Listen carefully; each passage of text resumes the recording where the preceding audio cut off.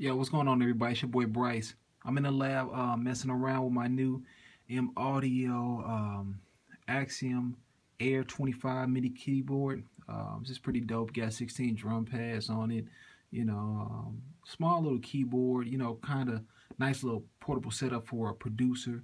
Um, you know, kind of enhance the workflow. You know, I don't have to bounce back and forth between drum machine and a keyboard. But uh, make a long story short, as promised, I'm going to show you guys how to do this in Logic Pro now um, as far as uh, setting up the mapping of your pads. So like all you have to do is this. It's really simple. So all you have to do is go up into where you see uh, Logic Pro X and you go down to uh, key commands. So once you go into key commands, you go into um, the edit mode. Okay. So once you're in edit mode, you always click on uh, global commands. So like, let's see here. Let's go into global commands.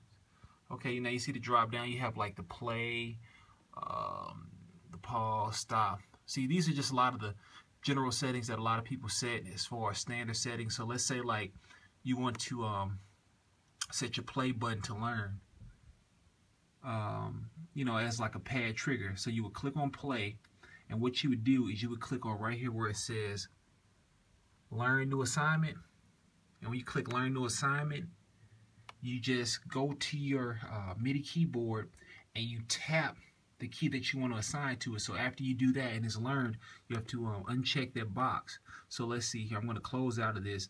I programmed mine to uh, work off my play button. So let me hit the play button on my MIDI keyboard and let's see how this responds. Works just fine.